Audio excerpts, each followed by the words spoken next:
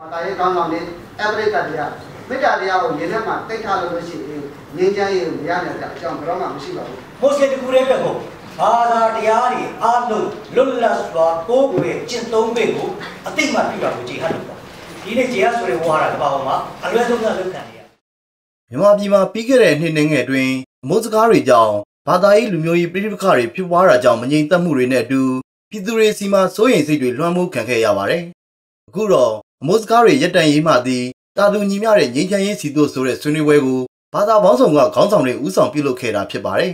။ဘာသာရေးခေါင်းဆောင်တွေရဲ့တာဝန်ကဘာများပါလဲ။ကိုယ့်ဘာသာကိုကိုးကွယ်သူဥယျာဉ်တူပါရေးကိုယ့်ဘာသာရဲ့သာသနာရေးအဆောက်အအုံတွေများလာဖို့မဟုတ်ပဲလူသားအလုံးရဲ့စိတ်ထဲကိုငြိမ်းချမ်းရေးတရားတွေထည့်သွင်းပေးမှသာတာဝန်ကျင်မယ်လို့မိန့်ကြားခဲ့သူကတော့ တချို့တွေအတွေးလဲကြတယ်ငါဘာသာဝင်ဥယျာဉ်တိုးလာလို့ရှိရင်ငါတို့ဘာသာရေးခေါင်းဆောင်တောင်းကြည့်တယ်ဘာသာရေးအဆောက်အဦတွေများလို့ရှိရင်ဘာသာရေးခေါင်းဆောင်တောင်းကြည့်တယ်လို့သတ်မှတ်ထားကြတယ်ဒါကြောင့်မလို့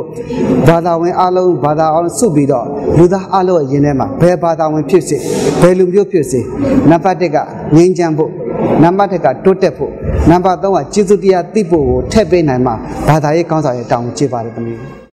ဒီစကားဝိုင်းမှာဘာသာစကားတစ်ခုချင်းစီရဲ့ ဘာသာရေးကျမ်းဂန်တွေနဲ့ဆက်ဆက်ပြီးအမုန်းတရားစကားလုံးတွေမသုံးတော့မှုဘာသာရေးခေါင်းဆောင်တွေကပြောဆိုခဲ့သလိုအမိုးစကားရက်တန်ရေးဆိုင်ရာဥပဒေတွေလည်းပြဋ္ဌာန်းပေးဖို့လိုအပ်တဲ့အကြောင်းဆွေးနွေးခဲ့ကြပါတယ်။ဒီဆွေးနွေးပွဲဟာအဓိကကတော့ဘာသာရေးလေးခုညီညွတ်ရေးနဲ့တရားဥပဒေစိုးမိုးရေးအတွက်ရည်ရွယ်ပြီးပြုလုပ်ခဲ့တာလည်းဖြစ်ပါတယ်။ဟိုတိုင်းပြည်ထဲမှာအာငြိမ်းချမ်းမှုကိုရှိနေမှ